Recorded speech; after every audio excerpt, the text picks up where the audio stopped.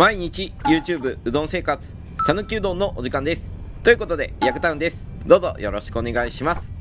今日紹介する動画で合計618店舗目のお店となります。ということで今日向かっているのは香川県高松市にある讃岐うどん屋さんの方へ向かっていっております。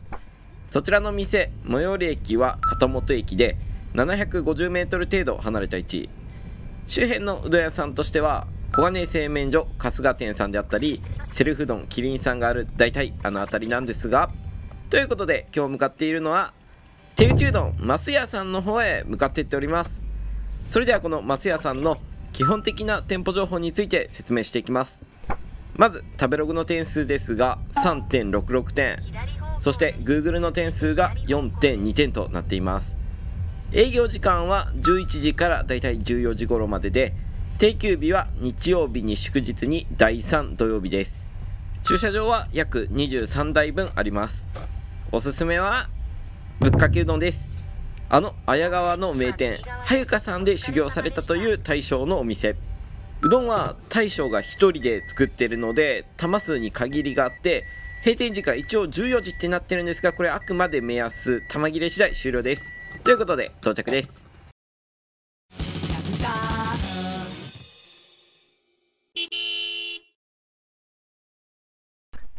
今日食べに来ているお店はこちらです。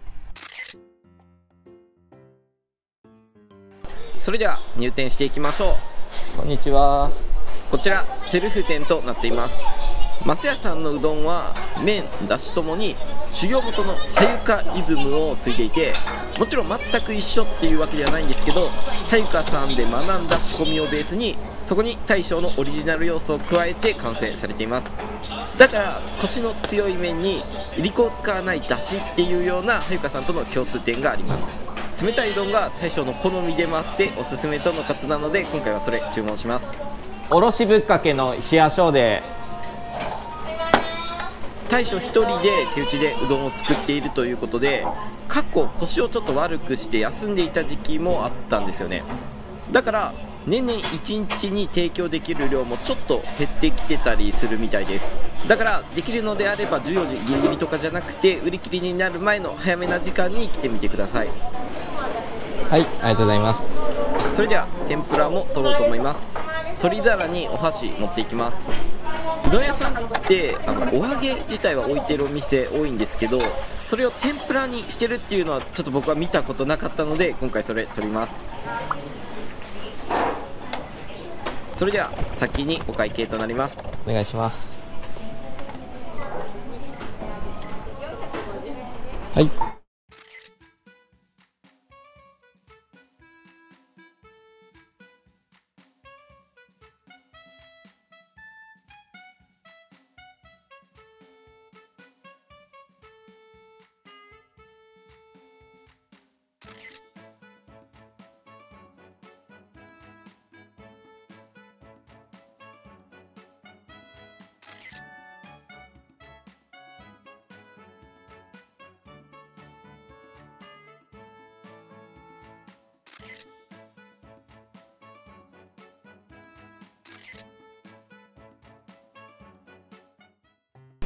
それでは薬味はレジの横に置いてあるのでちょっと横にスライドしてレジを開けて入れていきましょ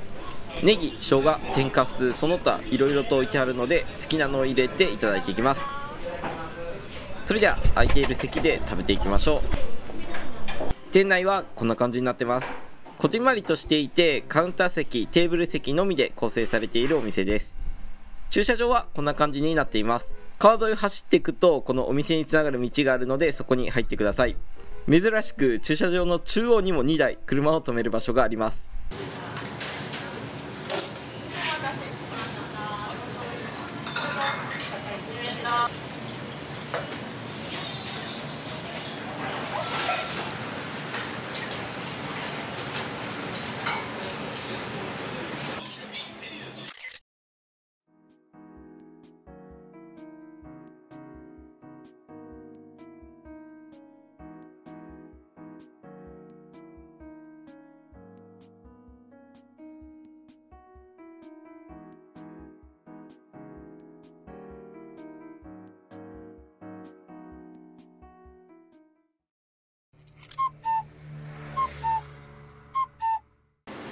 それではいただきます。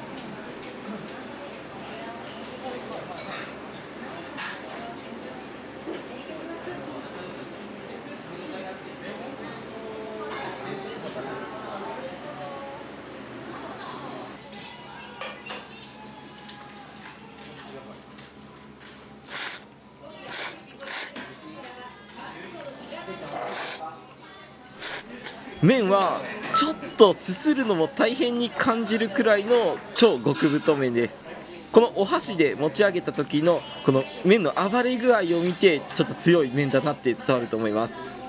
もちっと強い弾力でいてそれでいてちょっと滑らかな感じもあるコシなんですよね。とはいえやっぱりしっかりと噛んで食べるも豪麺に値する種類だと思います。食べ応えが抜群です。増屋さんの麺は冷たい状態で食べた時の食感が基準になってる美味しいと思える食感で作られているので初めての方冷たいので食べるのがおすすめです。ぶっかけだしは色濃く結構甘めなだしでした。昆布にしいたけに今後の削り節がベースになっているということです。今回大根おろしもつけてるのでそのおろしにだしを染み込まして食べるとまたさっぱり感も増して食べやすいだしになります。それではつね揚げ天もいただきます。これ自分が想像してたのといい意味で結構違ってて中はしみしみに甘く炊いた普通のうどんの上にのせるお揚げの天ぷらでした。だからこのまま結構軽く崩れるようにサクッとしてるんですけど中はしっとりこうじゅわっと甘い出汁が出るような感じですごい美味しかったです。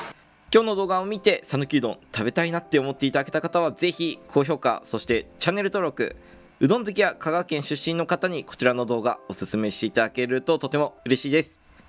それでは最後の一口いただきます。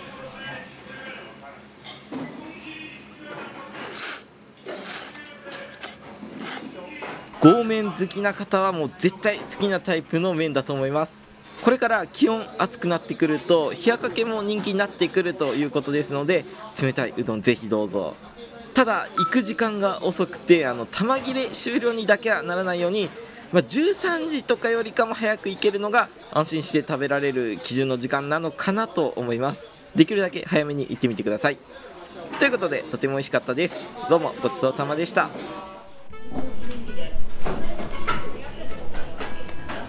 どうもごちそうさまでした。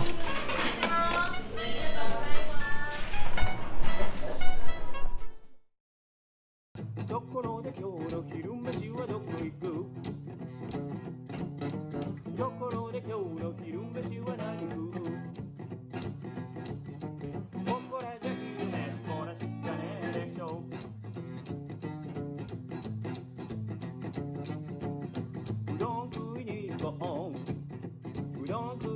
go on.